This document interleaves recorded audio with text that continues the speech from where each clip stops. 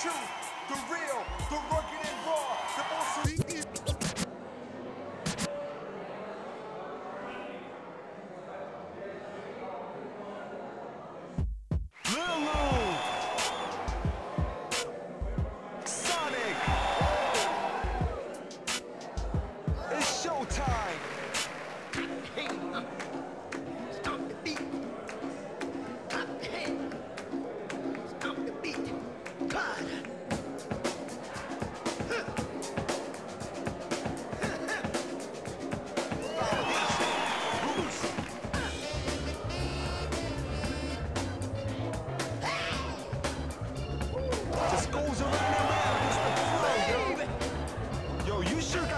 activity.